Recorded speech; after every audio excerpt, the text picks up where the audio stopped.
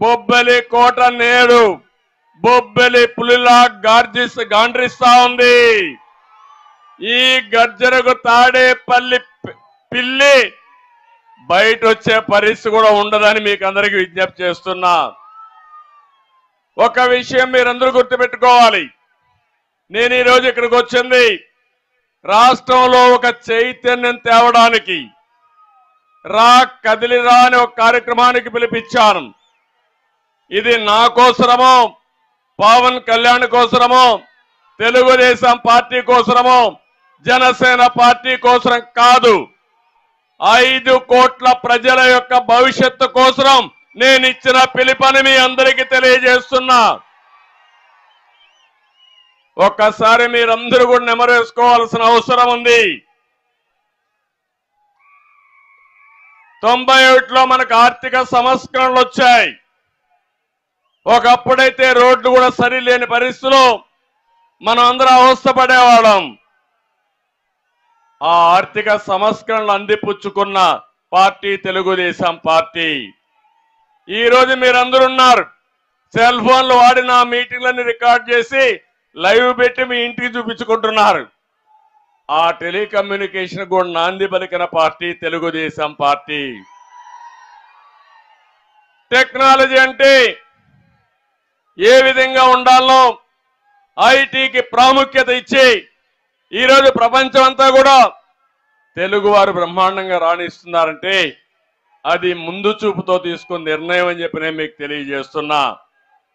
ఇంకో పక్కన యువత ఉన్నారు మీకు అవకాశాలు ఇస్తే మిమ్మల్ని సరిగా నడిపిస్తే ప్రపంచంలోనే అగ్రజాతిగా తెలుగు జాతిని తయారు చేసి సామర్థ్యం మా తమ్ముళ్ళకు ఉంది అలాంటి ఈ రాష్ట్రంలో తెలుగు జాతి మీరు చూస్తే ఈరోజు హైదరాబాద్ ఉంది. అడుగడుగున నా ప్రగాఢ ముద్ర కనపడుస్తుంది హైదరాబాద్లో ఎవ్వరూ కాదనలేరు. అది నాకు గర్వ కారణం. తెలుగు జాతి కోసం నేను ఆ రోజు కష్టపడ్డాను. దాని ఫలితాలు ఈరోజు ప్రజలు అనుభవించే పరిస్థితికి వచ్చారు. ఐటీ చేసిన వాళ్ళు ప్రపంచంతో వెళ్ళారు. ఇటీవల నాకు కష్టం వస్తే ఎనభై తొంభై దేశాల్లో నాకు సంఘీభావాన్ని తెలియజేశారంటే అది ఈరోజు తెలుగువాడి సత్తా ప్రపంచం మొత్తం. కానీ ఇక్కడ మాత్రం ఆంధ్రప్రదేశ్ రాష్ట్రంలో ఒక విషయం మీరు గుర్తుపెట్టుకోవాలి. ఈ ఐదు సంవత్సరాల్లో ఎంత వెనుకబడిపోయాం ఒక్కసారి మీరు ఆలోచించుకోవాలి. అంటే ఈ ప్రభుత్వం రాతి యుగం వైపు నడిపిస్తా ఉంది.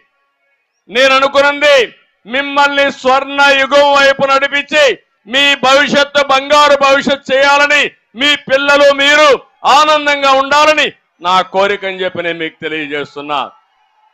అందుకే అడుగుతున్నా మిమ్మల్ని అందరినీ రాతి యుగం వైపు పెడతారా అని అడుగుతున్నా. స్వర్ణ యుగం కోసం నాతో నడుస్తారా? నడుస్తామంటే గట్టిగా చప్పట్లు కొట్టి హర్షాన్ని ఆమోదాన్ని తెలియజేయండి. నేను ఎందుకు ఈ మాట చెప్తున్నానంటే ఈ రాష్ట్రంలో అడుగడుగున అన్యాయం అడుగడుగున దౌర్జన్యాలు ఈరోజు మనకు నిన్నే జనవరి మొదటి తారీఖు చేసుకున్నాం నూతన సంవత్సరానికి స్వాగతం పలికాం. ఈ నూతన సంవత్సరంలో స్వర్ణ యుగం కోసం నేను సంకల్పం చేశా నాకు ఏ మాత్రం మనం లేదు. రాబోయే భవిష్యత్తు ప్రపంచం మొత్తం తెలుగు జాతిదే. అదే స్వర్ణ యుగం అని చెప్పి కూడా నేను మీకు తెలియజేస్తున్నా. అదే మరి సంక్రాంతి వస్తా ఉంది.